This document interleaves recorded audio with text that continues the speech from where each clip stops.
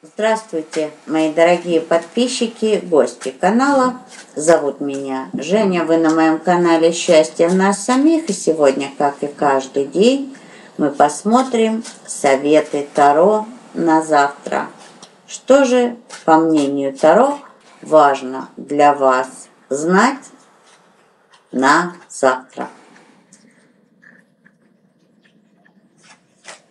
Первое могу сказать, что многих из вас завтра ожидают какие-то празднования. Что-то будете праздновать. Ну а если нет никаких причин для празднования, могу сказать, что будут происходить события, которые будут вас радовать. И, знаете, иногда бывает, что мы просыпаемся в плохом настроении, и, знаете, как говорят, что спасение утопающих – дело самих утопающих.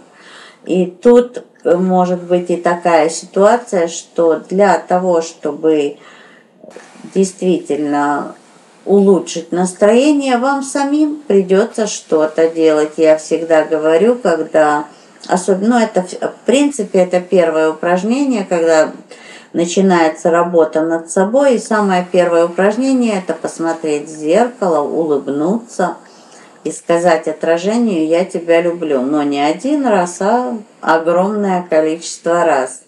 Можно вслух, можно мысленно. Я, кстати, всегда это делаю, пока я чищу зубы.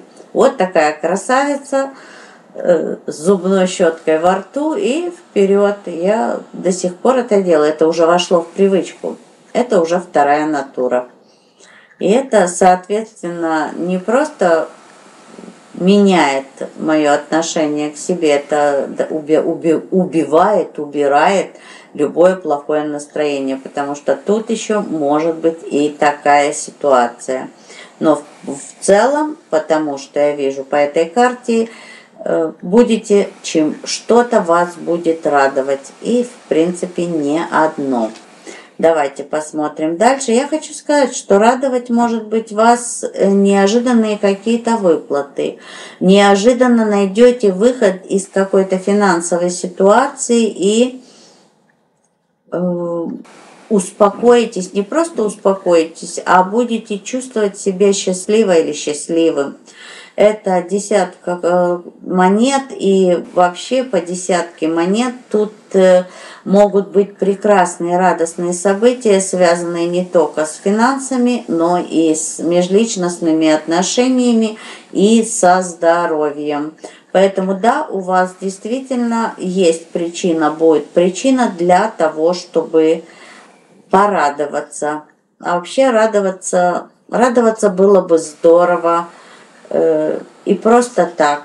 Солнце светит, прекрасно, дождь идет, прекрасно, я проснулась, и это тоже прекрасно. Крыша над головой, всегда есть пропитание, поэтому вот таким образом, я хочу вам сказать, можно улучшать свою жизнь, когда концентрируешься только на позитивных аспектах твоей жизни. И я больше чем уверена, даже больше, чем на сто процентов, что у каждого из вас э, есть что-то, за что можно радоваться и благодарить. И вот я, потому что я увидела некоторых, когда я сказала, что день празднования и радости, услышала кого-то, что начал это отрицать, а я могу. Спорить я не буду и навязывать свое мнение не буду, это ваш выбор. Не хотите радоваться и двигаться, но это же ваш выбор, это ваша жизнь, вы за нее ответственны. Ну и еще один совет. Э, вот тут опять, вот вы знаете, я уже сказала это, а вышла карта. Двойка монет – это выбор, это поиск баланса. И когда вы делаете определенный выбор, было бы здорово делать его в гармонии с вашим внутренним состоянием. Хотя по двойке монет еще говорят, что это выбор без выбора. Если перед вами стоит две ситуации, два человека, как бы две дороги, по двойке монет, что бы вы ни выбрали, все равно выйдете в плюс, выйдете в позитив.